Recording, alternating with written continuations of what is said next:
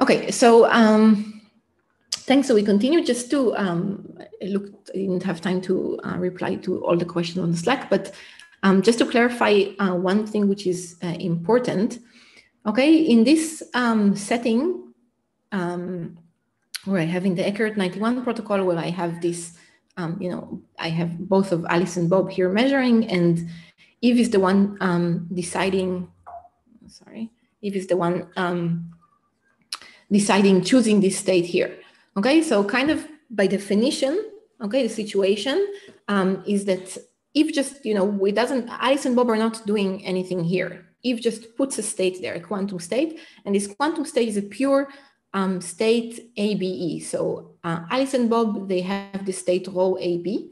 Okay, they, they don't know what it is. So they know in this case, they know that um, this one, this particle is a qubit and this particle can be described as a qubit and they're going to measure it with the X and the Z. And Eve have just everything else. So Eve has the, the purification. Okay, so this is by definition. Why do we take this by definition? Because this is the strongest um, possible adversary. Okay, so there is no um, no concept of, of Eve trying to produce a purification from uh, from a state that was already there, or there is no concept of Eve not having um, everything else or anything like this.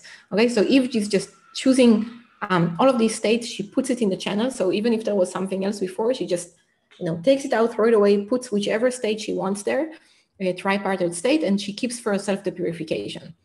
Okay, and she keeps the, the reason that we model this to begin with like this is that um, by letting Eve hold the purification, um, we basically give her the, the, the everything everything in the world which is not Alice and Bob, everything which is not the state that Alice and Bob hold in their labs.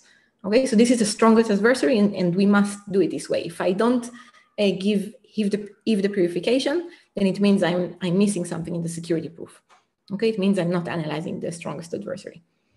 Okay, so the situation here is that I just put a tripartite state here. Eve chooses this state um, Alice and Bob will need to decide if the state that they got uh, is sufficiently sufficiently good or not.